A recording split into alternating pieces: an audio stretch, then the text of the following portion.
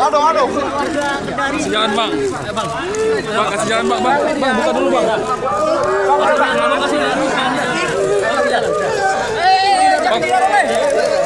Bang buka dulu bang. Iya, iya, iya. Dorong keluar aja, Bang. Dorong keluar, Bang. Dorong keluar nggak bisa. Gantian, Pak. Iya, iya, iya, iya, iya. Ayo, ayo, ayo, masuk, masuk.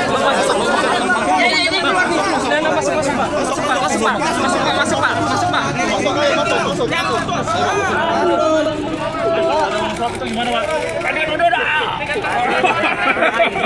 masuk, masuk. Masuk, masuk, masuk. Pasron, pasron, pasron. Pasron, pasron.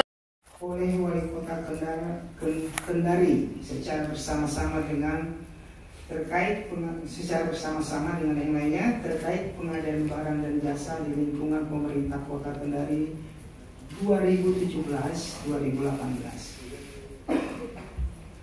KPK meningkatkan status perkara penyidikan serta menetapkan empat orang tersangka, yaitu satu diduga sebagai pemberi adalah HAS yang merupakan direktur utama PT SPN, kemudian sebagai penerima adalah ADR, ADR Wali Kota Kendari periode 2017-2022, kemudian ASR swasta calon gubernur provinsi Sutra ayah wali kota dari wali kota wali kota yang Pak ADR tersebut. Kemudian yang ketiga adalah FF FF ini adalah swasta mantan kepala BPKAD